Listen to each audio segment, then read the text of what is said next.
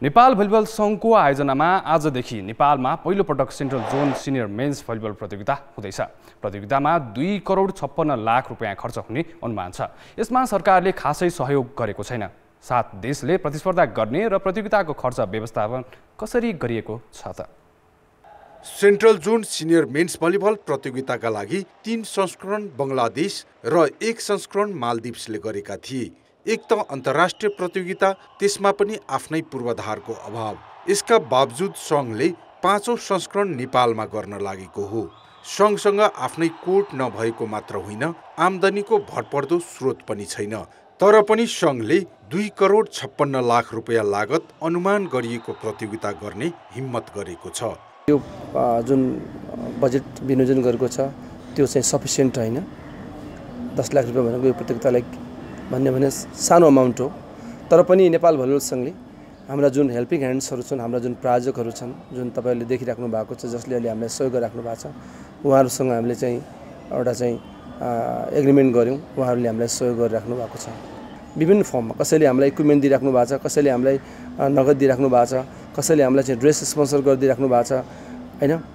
त्यसै प्रकारले नेपाली सेनाबाट हामीलाई चाहिँ भेनुको ठुलो सहयोग भएको छ।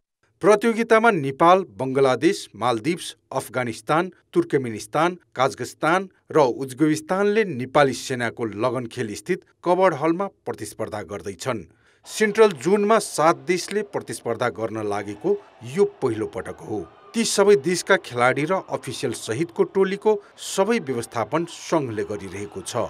राष्ट्रिय खेलकुद परिषदले भने जम्मा दस लाख रुपियाँ मात्र दिएको छ।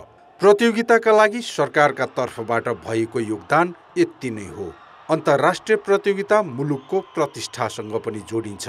अझ भलिभल त नेपालको राष्ट्रिय खेल समेत भएकाले यस्ता प्रतियोगिता सफल पार्नु राखेपको पनि जिम्मेवारी हो।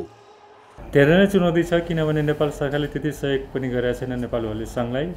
र नेपालको राष्ट्रिय खेल भलिबल भएको नाताले नेपाल सरकारले धेरै नै भन्दा पनि धेरै सहयोग गर्नुपर्ने आवश्यक देखिन्छ र भलिबल सङ्घले पनि विभिन्न प्रायोजकहरू खोजेर फुटबलले जस्तै खोजेर आफूले पनि गर्नुपर्ने सक्नुपर्ने हुन्छ र यसको साथै लिग गेम गर्दा पनि विदेशी खेलाडीहरू एउटा टिमबाट दुईजना खेलाडीहरू राखेमा हाम्रो नेपालको टिमले धेरै नै सिक्ने मौका पाउँछ र इन्टरनेसनल प्रतियोगितामा त्यसले धेरै नै फाइदा गर्ने आशा गरेको छु मैले। यस्ता प्रतियोगितामा निजी कम्पनीले प्रायोजन गर्ने अन्तर्राष्ट्रिय अभ्यास नै हो।